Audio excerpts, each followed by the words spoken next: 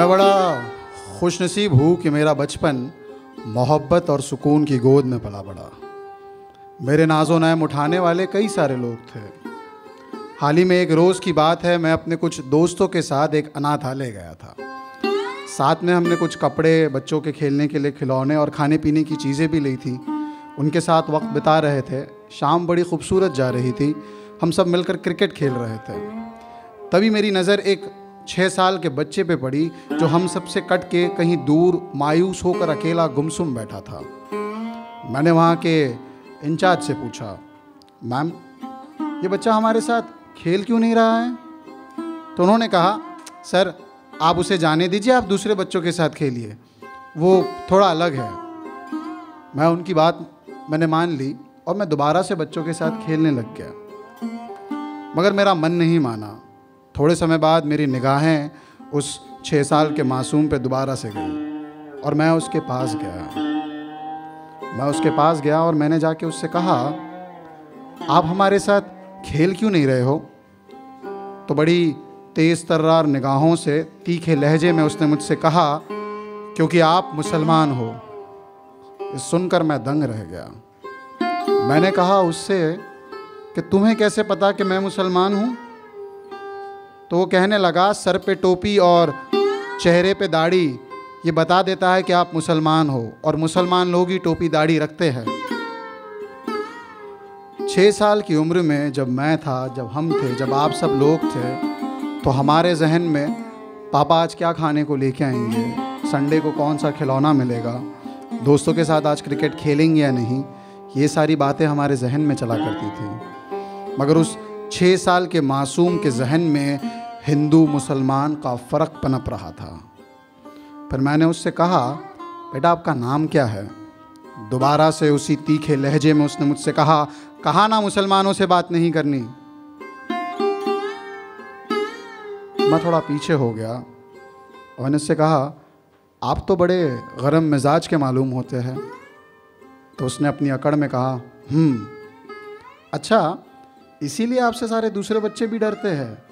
उसने कहा हाँ सभी बच्चों ने ना मुझे आपके पास भेजा है। उसने बोला, क्यों? क्योंकि मेरा एक सवाल है जो सबने कहा कि आप ही हल कर सकते हो। अच्छा पूछो आपका सवाल क्या है? मैंने उससे पूछा, ये एक बात बताओ कि तुम्हारा फेवरेट फ्रूट कौन सा है? तो उसने बड़े मासूमियत के साथ कहा, आम है मेरा फेवरेट फ्रूट। तो मैंने उससे पूछा, अब ये बताओ कि आम हिंदू है या मुसलमान है? तो हँसते हुए बोला, अरे, आम तो आम ही है ना, हिंदू मुसलमान कहाँ से हुआ? फिर उसी के सुर में मैंने सुर मिलाया और मैंने उससे कहा, अरे, इंसान तो इंसान ही है ना, हिंदू मुसलमान कहाँ से हुआ?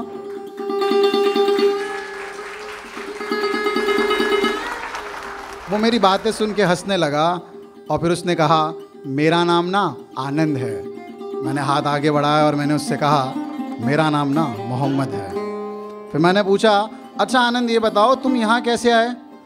तो आनंद ने कहा, मैं ना यहाँ नहीं रहता था, एक दूर गाँव में रहते थे हम लोग। और मेरे माँ बाबा है ना, वो ईट बनाने का काम करते थे। तो एक रोज़ ऐसा हुआ कि हमारे वहाँ पे कुछ लोगों के बीच में झगड़ा हुआ और बाबा गए बचाने सबको समझाया, सब कुछ अच्छा हो गया। फिर रात के समय मैं घर के दरवाजे के बाहर खेल रहा था और माँ बाबा खाना खा रहे थे। तो उसी शख्स में से एक इंसान आया और उसने आके बाबा से कहा कि तुम्हें हिंदुओं का साथ देना चाहिए। तो बाबा ने उससे ये कहा कि हमारे यहाँ पे जो भी काम करते हैं, सभी एक तो है। हिंदू मुसलमान का फ़र्क कैसा? तो वो पता नहीं, बाबा की इतनी सी बात से चिढ़ गया और चला गया। जब वो गया तो बाबा ने अपने आप से ये कहा कि ये लोग बेवकूफ़ है। फिर अगली सुबह सभी लोग काम कर रहे थे। मैं बाहर अपने दोस्तों के साथ खेल रहा था। बाबा घर में ही थे कि अचानक से एक शोर गूंजा। दोबारा से कल वाले दाढ़ी वाले इंसान को पाँच छह लोग मिलकर पीट रहे थे। बाबा दौड़ा दौड़े उसके पास गए। भीड़ इतनी इकट्ठा हो गई कि मुझे कुछ दिखा नहीं, क्योंकि मैं बहुत दूर खड़ा था। मगर पंद्रह बीस मिनट बाद मैंने ये देखा, वो दाढ़ी वाले अंकल के मुँह से खून की उल्टियाँ निकल रही थी। और मेरे जो बाबा थे ना, वो ऐसे उल्टे होके ज़मीन पे गिरे हुए थे। माँ को जब पता चला तो माँ भी दौड़ी दौड़ी उनके पास गई और बाबा को देखा तो वो ज़ोर से चिल्लाई। और पता नहीं उससे क्या हुआ, वो भी फिर बाबा के सिर पे ऐसे सर रख के सो गई। और अचानक से मेरे पास वाले शंकर भैया ने मुझे गोदी में उठाया और अपनी साइकिल पर बिठा के चलने लगे। मैंने उनको कहा कि मुझे ना अपने माँ बाबा के पास जाना है। तो उन्होंने मुझसे कहा कि तुम्हारे माँ बाबा को तो मुसलमानों ने मार दिया है, अब मैं तुम्हें अपनी मौसी के पास ले जा रहा हूँ। तो हम हमारी मौसी के पास आ गए और उन्होंने मेरी मौसी को भी यही कहा कि मेरे माँ बाबा को मुसलमानों ने मार दिया है। फिर एक दो दिन मौसी के पास रहने के बाद मौसी बोली, अब हम यहाँ नहीं रहेंगे, हम कोई बड़े शहर में जाएँगे। तो मैंने पूछा, कौन सा बड़ा शहर? तो वो बोलने लगी, अरे, वही बड़ा शहर जहाँ पे अमिताभ बच्चन और शाहरुख खान रहते हैं। मैंने कहा अच्छा। और फिर अगले दिन हम आ गए। मैं स्टेशन पर बैठा था। मौसी ने कहा, तू यहीं बैठे रहना, मैं कुछ खाने का लेकर आती हूँ। सुबह से शाम हो गई, मगर मौसी आई नहीं। फिर वहाँ पे कुछ लोगों ने मुझसे पूछा, क्योंकि मैं ज़ोर ज़ोर से रोने लगा था कि तू खो गया है? तो मैंने कहा हाँ। फिर मुझे वो पुलिस अंकल के पास लेके आ गए और पुलिस अंकल मुझे यहाँ लेकर आ गए।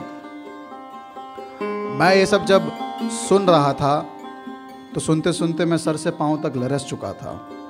मैंने आनंद से एक सवाल किया, आनंद, क्या तुम स्कूल जाते हो? आनंद ने अपनी गर्दन हिलाते हुए हामी भरी।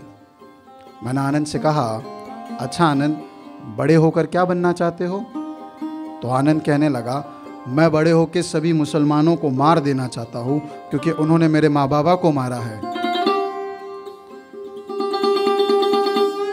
मैंने आनंद से कहा अच्छा आनंद, वो उस दिन जब वो शख्स तुम्हारे बाबा से मिलने आया था, उसकी बातें सुनने के बाद बाबा ने क्या कहा था उस आदमी को?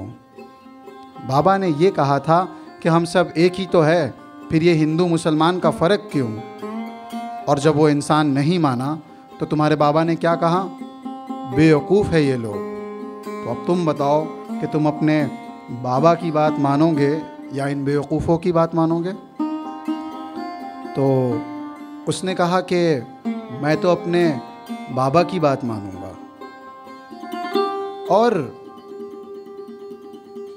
फिर मैंने उससे पूछा अब तो मैं भी मुसलमान हूँ, क्या तुम मुझे भी मार दोगे? तो उसने कहा, नहीं नहीं, आपको थोड़ी मारूँगा। मैंने कहा, क्यों? मेरा तो नाम भी मोहम्मद है, सर पे टोपी है, चेहरे पे दाढ़ी है। तो कहने लगा, नहीं, आप अच्छी बात करते हो, आप अच्छी चीज़ सिखाते हो, मैं आपको नहीं मारूँगा। मैंने कहा, बिल्कुल, जैसा मैं हूँ, वैसे ही दूसरे लोग भी हैं। फिर मैंने उससे कहा अच्छा अब हमारी दोस्ती हो गई। तो उसने ताली मारी, उसने बोला हाँ अब हम खेल सकते हैं। उसने बोला हाँ बिल्कुल खेल सकते हैं। तो फिर चलो। मगर उसने कहा, मगर एक सवाल पूछना है आपसे। मैंने कहा, पूछो बेटा। अगर हम जानते हैं कि जो हमें लड़ाने वाले लोग हैं, वो असल में बेवकूफ़ है तो फिर हम इनकी बातों में आके हर बार लड़ते क्यों हैं? वो सवाल मुझसे एक छः साल का आनंद नहीं पूछ रहा था। वो सवाल कोई सवाल। सवाल हम सबको पूछने का बराबर का हक है। सवाल करना लाजिम है, सवाल करना बेशक है। सवाल जो सवाल पूछने की रवायत को मशहूर कर दे, सवाल जिनसे किया जाए, उन्हें सोचने पर मजबूर कर दे। सवाल जिसके आगे सियासत रियासत तक तो ताज झुक जाए। सवाल जिसका जवाब जानने के लिए तालियाँ थमे, भीड़ रुक जाए। सवाल जिन्हें मालूम हो कि तहजीब क्या है, एहतराम क्या है। सवाल जो बस इस बात पर ना रुक जाए कि तुम्हारा मज़हब क्या है, तुम्हारा नाम क्या है। कभी सोचा है कि इस मुल्क का क्या हाल कर रहे हैं? जवाब मांगती नस्ल के जहन में सवाल भर रहे हैं। क्योंकि सवाल अब ये नहीं है कि तुम जवाब जानते हो कि नहीं। सवाल ये है कि तुम उनके कसीरे पढ़ते हो, उनकी दलीलें मानते हो कि नहीं। अगर मानते हो, तुम वतन के सिपाही, सरपरस्त हो, उस लिस्ट में तुम्हारा नाम शुमार हो जाएगा। और जो नहीं मानेगा, वो इरादतन जुर्म के इल्ज़ाम में गिरफ़्तार हो जाएगा। ये चलेगा तब तक, जब तक तुम खामोश हलक से अपने सवाल निगल नहीं लेते, या फिर उनके जवाब के बनस्बत अपने सवाल बदल नहीं लेते। तुम कहोगे कि ये इत्तफाक है, ये कहानी है किस्मत से, पर याद रखना, सिर्फ़ दाढ़ी और टोपी से नहीं, वो सवाल किया गया था मोहम्मद से। तो लिए अपने आँखों में अजीब सी मुस्कान पूछ रहा है, होकर थोड़ा हैरान और परेशान पूछ रहा है, हूँ मैं हिंदू या मुसलमान पूछ रहा है ये सवाल उस यतीम खाने के बच्चे ने नहीं पूछा।